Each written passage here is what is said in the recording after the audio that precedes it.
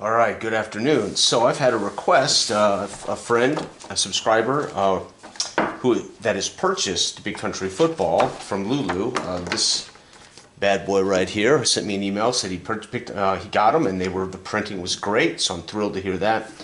But he had asked me to do a tutorial on how this particular version with these charts functions. So that's what I'm going to do. Um, I have my own league. I have a six-team 1974 uh, league I've been playing. Uh, I'm posting these results on the Discord channel. I've only been able to play the first week of the season. So week two, I'm going to go ahead and play uh, the next game, which is Columbus, uh, Denver at Columbus. Let's find Denver. Denver, Denver, Denver. So my teams are made. These teams were made using the rules in the book. Uh, got my teams made, gave everybody names, uh, and then I made uh, little team books to see who's in the ball game to get credit for statistics. Here we go, Columbus.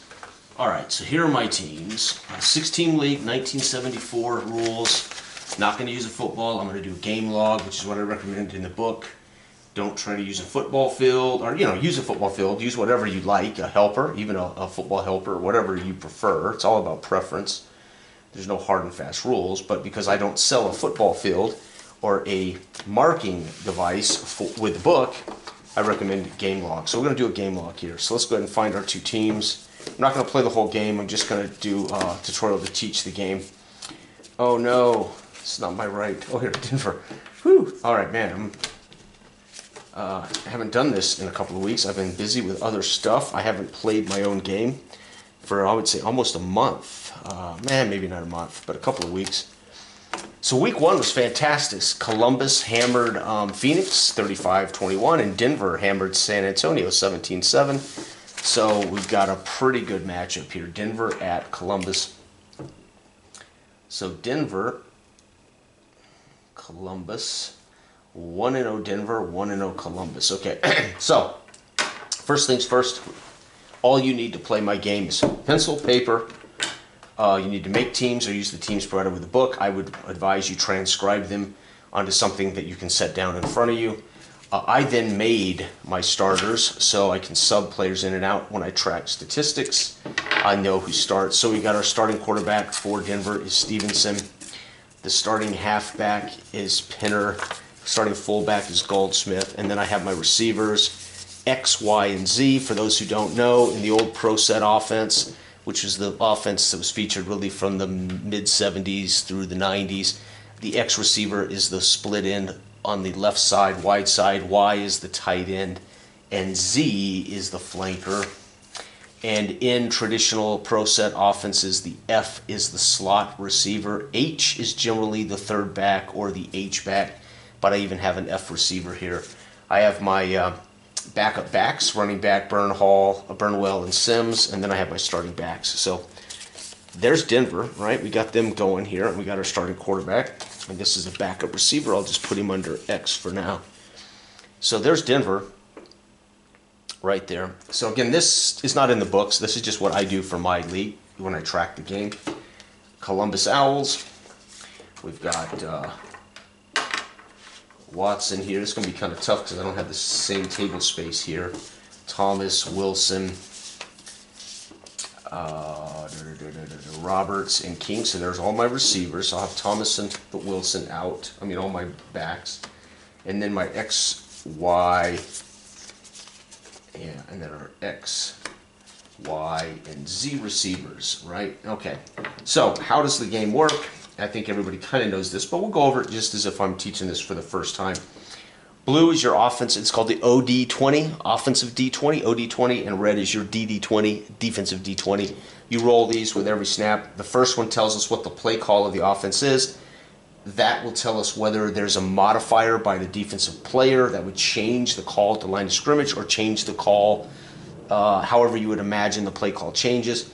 And then, of course, the second die the second die will tell us the effect of the second table. So the blue die or one die, or if you're using just one die, you roll for the first die and you get that information, then you roll if you needed to for a second. So you don't need two dice, you don't need two, but so we roll always for the offensive play call. We if there's a, a parenthetical statement, that means we refer to the opposing defensive player. If that defensive player is a plus or minus, we modify back or uh, either plus up the chart or negative down the chart. That changes the new play, and then we do whatever's in the second column of the of the final play. Right? So pretty simple. That tells us our offensive play.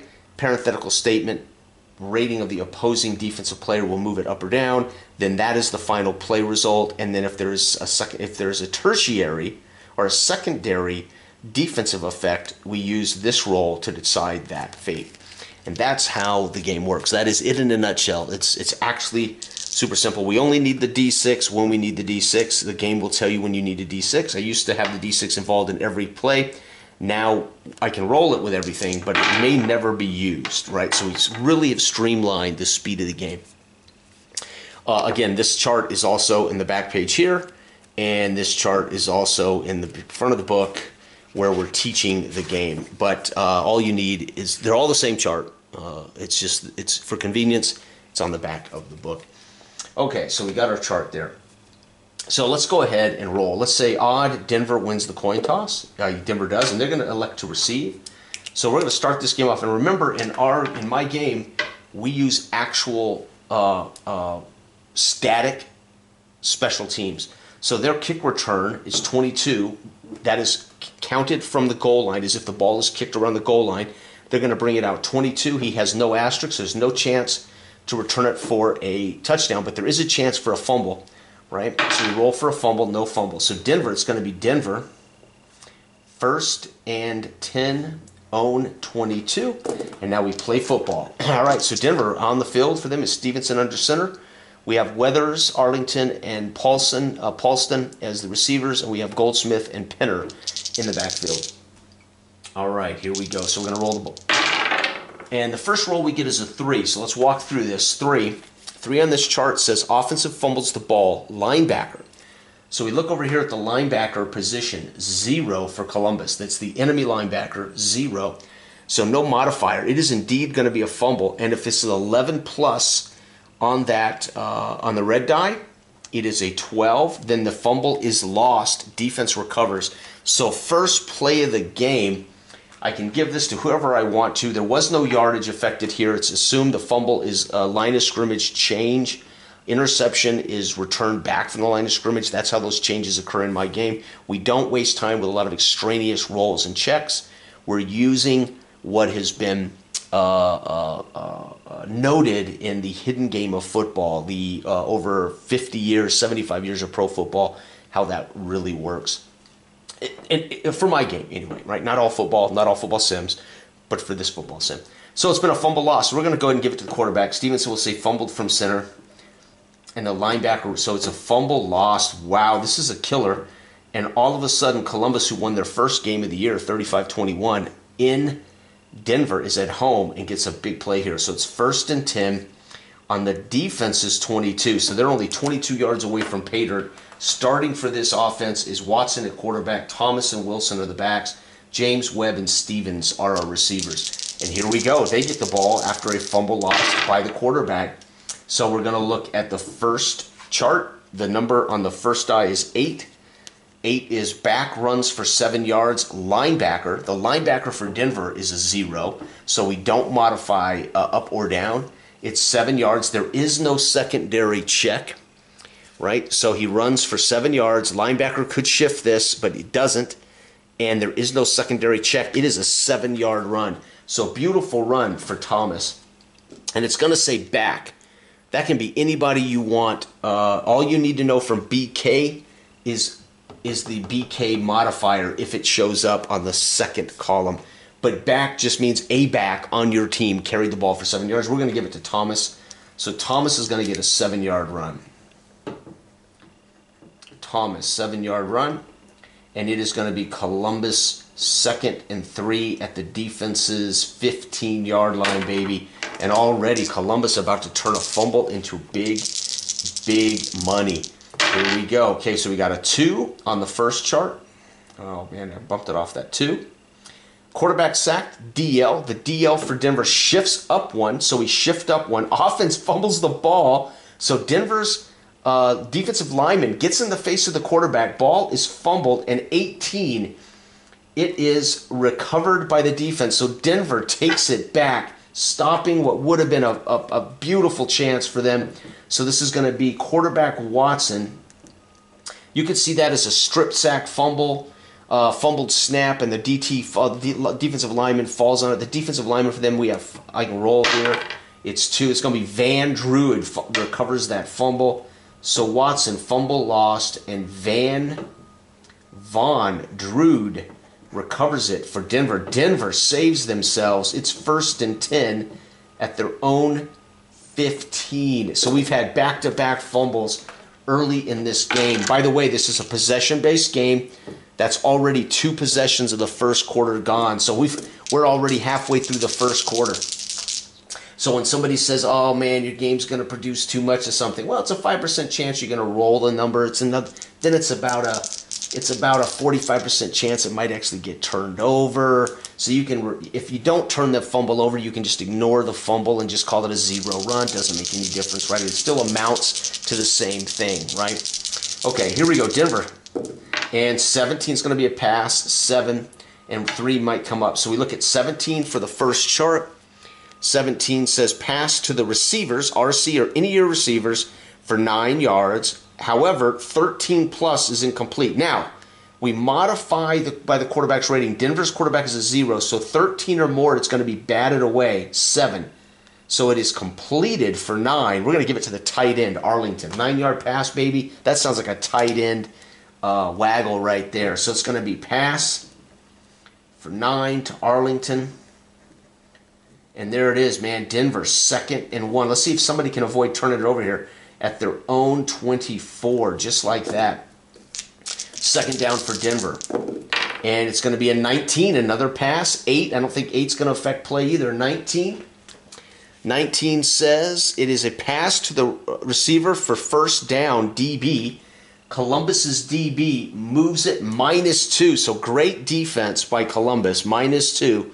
So we go down two, one, two. It's to pass to the receiver for nine again, 13 plus. Nope, it's eight on the second number. It's completed for nine. This one we're going to swing it. So since they forced us to change plays, I'm going to assume he checks it down to the back pinner. It's a catch by the halfback. So I can I can make sense of this, right? It was going to be a first down pass, but the DB forced it down nine yards. I'm going to say he basically sees the coverage and dumps it down to the fullback. Goldsmith's going to get nine yards. Pass, nine to Goldsmith. We got us a first down. Denver, they're moving out of their own territory. First and 10, another nine at their own 33. So we're moving now. Denver's not turned it over a second time. Here we go. So 16 and 8. So again, we first don't get uh, uh the D6, let's leave out. Eight, 16. Let's look at that first. Pass to the back for seven yards. So again, we're looking for a back, but the linebacker might force a change. Again, Columbus's linebackers are zero, so no change. 16 says pass to the back for seven. So he dumps it down to uh, Pinner out of the backfield. 14 plus is batted away. The quarterback rating is a zero. I got an eight, so it's complete to Pinner for seven more yards. So our quarterback right now is thrown three completions in a row all of them a tight end, and now both backs have caught a pass as Denver is marching second and three at their own 40. They're almost at midfield already, folks. So that, that turnover on the first play of the game could have been deadly. Fortunately, they stripped it and got it back. And Denver now is marching on their third, second possession, their second possession of the first quarter. 15 is going to be a pass, I believe. So we look at 15. 15 pass to the back for five. There is no parenthetical check, right? So we don't check any other defense. It's just straight up. This is an automatic pass completed to a back for five yards, and there is no secondary check. So it's an easy uh, pass. Again, pass, and we're going to pass this to uh, Pinner again. So back to back catches for Pinner and Denver with another first down. First and 10, own 45 yard line. Holy cow, Denver's moving. All right, 17 is going to be another pass. 14 could be incomplete this time. So 17, pass to the receiver for 9. We're going to say that's uh, X-receiver Weathers. But we're going to be looking at uh, 17. We're going to be looking at, oh, there is no parenthetical statement. So it's a 9-yard strike but 13 plus, it's going to be batted away. Our quarterback is a zero, so 13 and up on the red die. The red die is 14. It's incomplete. So the defensive back breaks up a beautiful pass to Weather. So this will be pass, uh, incomplete, and I'll put in the parentheses here Weather. So I know that he was a target, but it was incomplete. Denver, second and 10. If I'm going too fast, I hope I'm not. And we are still at the 45 of our own 45. All right, here we go. 19. Holy cow, this quarterback is throwing nothing but passes this drive. Uh, pass to the receiver for a first down. DB moves it down two. So we've seen this before. One, two. It's a nine yard pass, 13 and up, 14 batted away. So back to back incompleted passes. Now I'm going to say he went to Weathers and then came back over to Paulson and it was batted away. So I'm changing it to Paulston on that one, right? So now it's third down, back to back incomplete passes at their 45. And that was their one, two, three, four, five, sixth straight pass for the Denver Highlanders here on the road in noisy Columbus. Columbus Owls. And it's going to be a two. This isn't going to be good. Two is sacked. DL moves it. No DL adjustment. So again, we look at two on the first chart. Quarterback sacked. DL. DL is a zero, so we don't shift it up or down. Now we look over here. 1d6 plus five yards lost. I rolled a two plus five, seven yards sack. So we get a sack by the DL. Let's roll to see which sack. The DL for Columbus is six. One, two, three, four, five. Lilly gets the sack. So Lilly gets the sack for seven minus seven yards. Denver's going to be forced to punt. Fourth and 17, own 38, and they're going to punt the ball. And again, all we're rolling for on a punt is a chance at a block. So I just rolled to see if there's a block.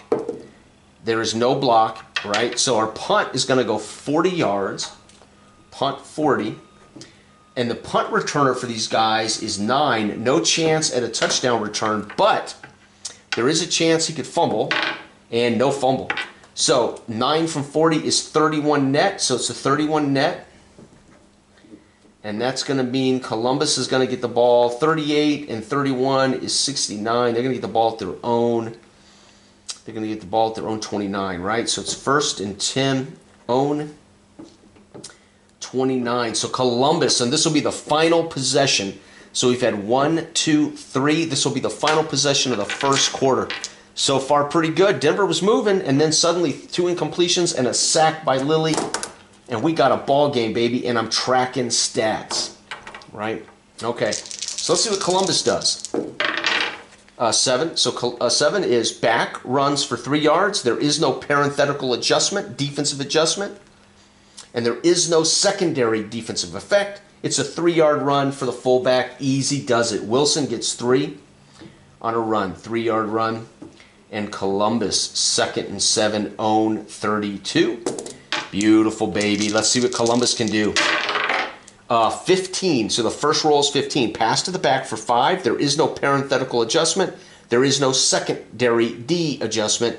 It's going to be a straight up five yard pass. So he dumps it down to Thomas. Pass to Wilson for five yards. And Columbus looking pretty good here. Third and two at their own 37. And Columbus would like to get a first down to keep this drive going. And here we go. It's going to be five. Ooh, five.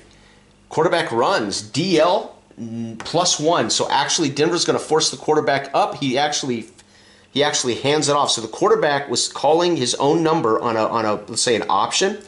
Maybe he does call an option, and instead of instead of running it himself, he hands it off or pitches it out to the back for four yards and a first down.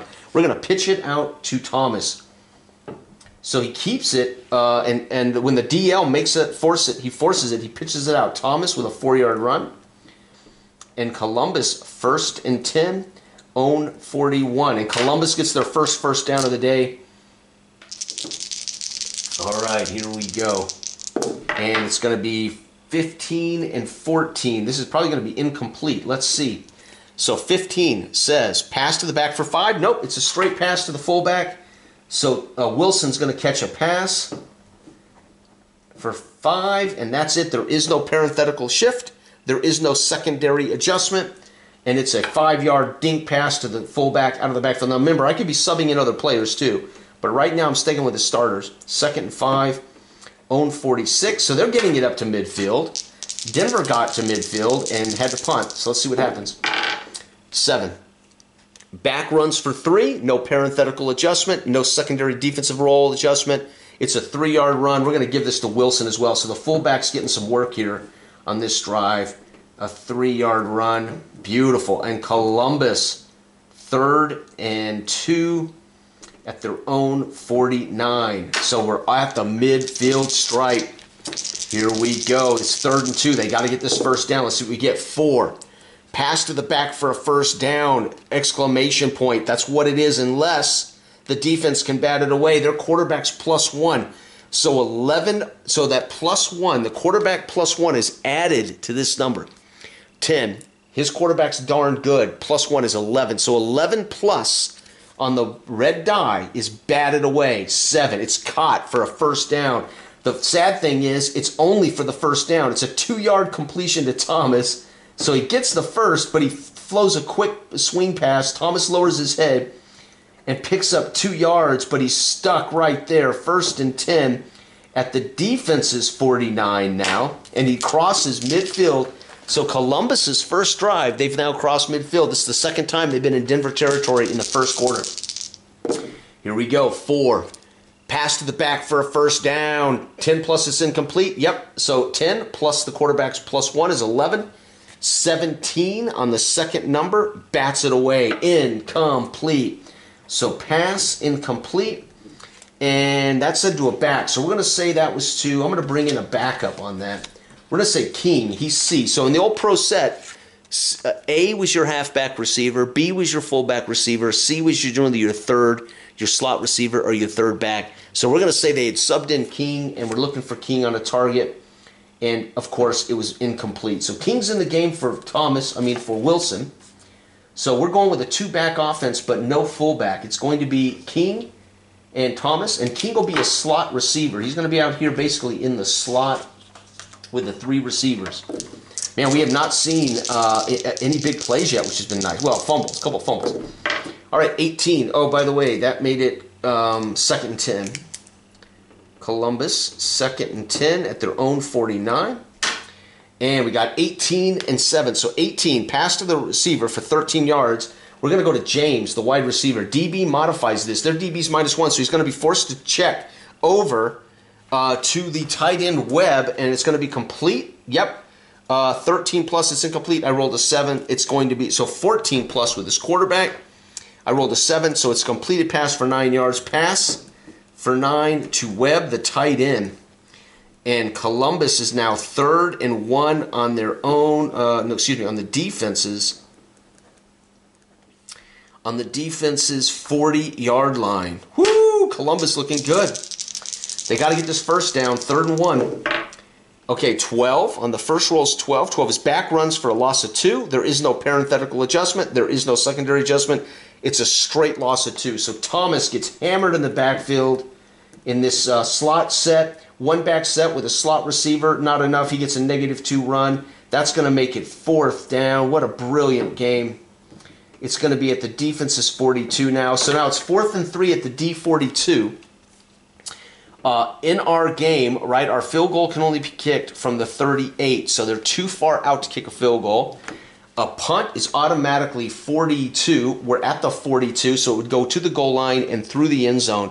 So that's what we're going to do. I'm not going to go for it here. So we're going to punt. It's going to be a touchback, right? 42 on the 42 is automatically going to hit at the goal line, right? We don't modify. Remember, we static uh, special teams, right? So a touchback. So Denver, that'll be the first quarter, by the way. That's our fourth possession. One, two, three, and the fourth possession. That's the first quarter, zero, zero. First quarter in the books. Beautiful. And I can put a line here so I don't mess up. That is first quarter. And let's go ahead and just look at some numbers from that first quarter. So Denver had one, two, three, four, five, six, seven, eight, nine uh, eight plays in that first quarter, uh, not counting the punt. We don't count the punt. Um, and then Columbus had 1, 2, 3, 4, 5, 6, 7, 8, 9, 10, 11. Uh, so Columbus had 11. Denver had 8. That's 19. That's uh, 11 and 8 is 19 plays. Doing possessions, uh, if I count the punt, that's 20 plays. A, t- traditional regulation football game should be about 30 uh, plays from scrimmage. So you can see that four possessions is shorter than normal.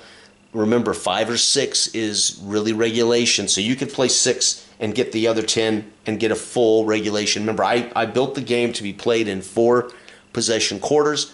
Statistically, your league is going to be relative to whatever you play.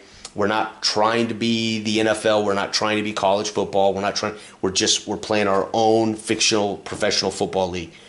So I would have I would have whatever stats I get will be relative over the course of the season, over the course of careers. But there's the first quarter done, uh, and again, I didn't need a football field. I didn't. Uh, I don't need to track secondary stats. I got all my stats. I got all my data right here, um, and we're done. Right, first quarter's in the books. Denver uh, zero, Columbus zero on the road in our.